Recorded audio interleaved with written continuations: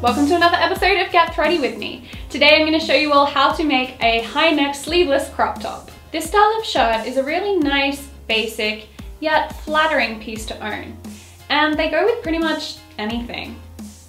So let's go. Okay, so the first thing that I need to do is to make the pattern.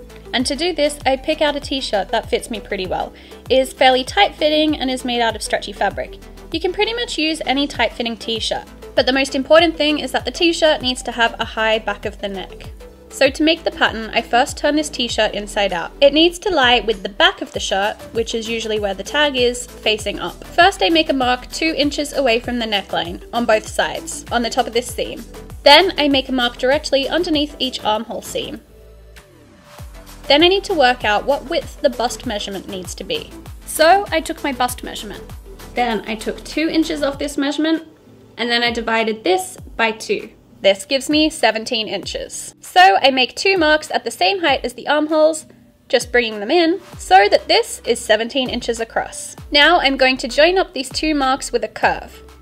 Now you can either use one of these French curve rulers if you have one, or you can just eyeball it. With the curve, you kind of want to follow the shape of the curve on the armhole of the t-shirt that's already there, but bringing the curve in at the top here so that it meets up with your other mark. The next step is to decide how long you want the shirt to be.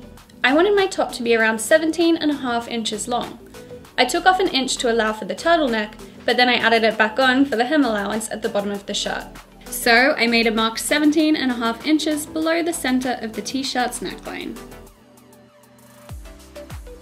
The bottom of the crop top is going to sit pretty much at your waistline. So I took my waist measurement and then again, I minus 2 inches and then I divided this measurement by 2. So for me, I got 14 inches. So I'm going to make this bottom line 14 inches long by connecting up these three marks in a straight line. And then lastly, I need to connect up these two lines. And this is what my basic top pattern is going to look like. Now I just need to transfer this pattern onto some paper. I fold the shirt exactly in half and I put a piece of paper inside, matching up the edges of the paper with the fold. Then, using some pins, I press through the shirt, following the chalk lines all the way around. This creates small holes on the paper below. Then all I need to do is simply connect these small holes together, just like a join the dot picture. And I cut this out. See? They're the same size. Woohoo!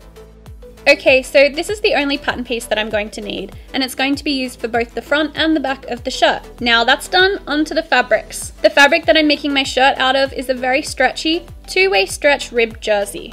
But you can pretty much use any stretchy jersey fabric. To copy my pattern onto the fabric, I first fold the fabric in half, and then I place the pattern piece on top, with this edge on the fold. Now because I don't trust myself to cut it out accurately while it's just on top like that, I pin it on, trace around it, then remove the pattern piece, put the pins in to hold the two layers in place, and then I cut around the traced lines.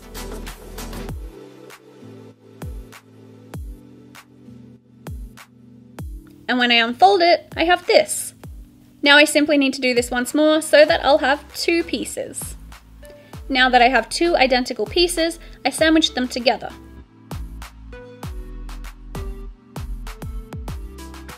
And then I sew the two pieces together at the sides and at the shoulders.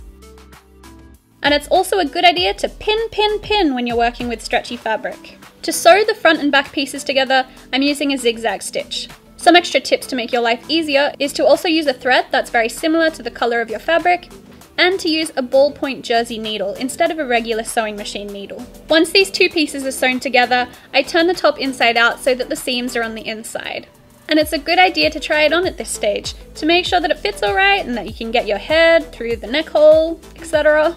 Now I'm going to make the cuff for the neck. I measure the circumference of the neck hole, which is 10 inches.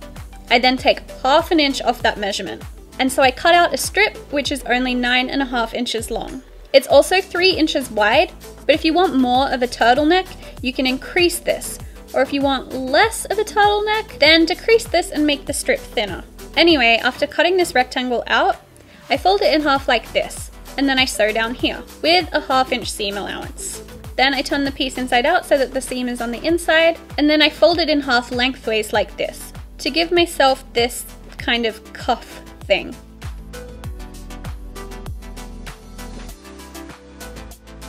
Then I place four pins equally around the neck hole. So one pin on each shoulder seam, and one in the center front, and one in the center back. I do the same thing on the neck cuff, with four evenly spaced pins. I'm going to match these pins up when I sew the two pieces together. To sew the cuff on, I'm first removing this doobly-doo from my machine so that the cuff will fit over the top. Then I slide the neck cuff on with the raw edges facing this way and the neckline of the shirt goes underneath it. So the cuff is going to be sewn onto the right side of the shirt. Once I match up the raw edges, I sew the neck cuff onto the shirt. I do this by using a zigzag stitch and at the same time stretching the fabric underneath so that each set of pins basically match up.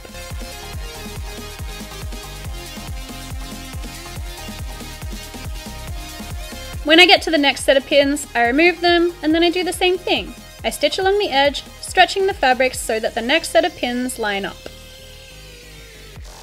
And I do this all around the neck hole until I reach the point where I started from. And that's the neckline done. For the armholes, I'm basically going to do the exact same thing. However, the strips are going to be a little bit thinner. I measure the armhole circumference, which for me is 15 inches, and then this time I subtract one whole inch from this measurement. So I cut out a strip that's 14 inches long and 1.5 inches wide. Then I do the exact same thing that I did for the neck. I fold this strip in half, sew here, turn it around, fold it in half lengthways to get a cuff, quarter it with pins, quarter the armhole evenly with pins, and I sew them together, raw edges matching, with the cuff on the right side of the shirt. And again, I stretch the fabric while I sew so that each set of pins matches up with each other.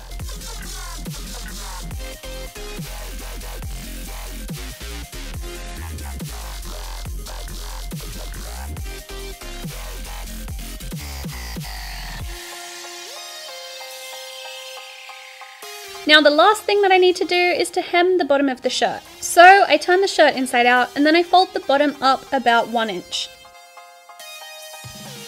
And then I sew across it. Now I recently got myself this special sewing foot called a walking foot. This thing makes sewing with stretchy fabrics a dream. Basically, it helps feed all the fabric through evenly to stop the hem from ruffling when you sew it. If you don't own a walking foot, however, I recommend sewing the hem using a piece of paper underneath, just like I did in this video here. Here's a close-up of the walking foot in action. And look at my nice flat hem! So, I finished the top, but then I tried it on and I decided that the armholes were slightly too tight. So I actually wanted to try and make the top again, but modified the pattern slightly to make the armholes larger. So back to my pattern, all I simply did was to make the armhole a little bit larger by extending this curve. And I tried again, this time using the same fabric but in black.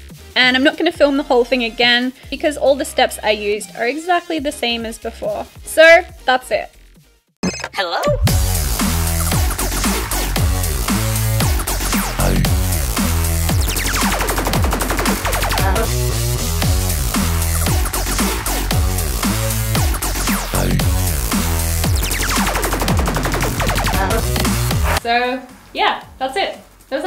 Surprisingly easy to do. The second top that I made, so this one, actually only took me about an hour to make and that was because I wasn't filming, I was sewing at my normal sewing speed. So yeah, you can pretty much whip up a bunch of these in all different colors in no time. And while it's a really nice basic shirt to own that'll go with a lot of things, you can also do some more interesting things with it with say t-shirt transfers or fabric paints or embroidery or using different fabrics for the cuffs and the collar to make some really interesting tops. And I'll see you all for my next video.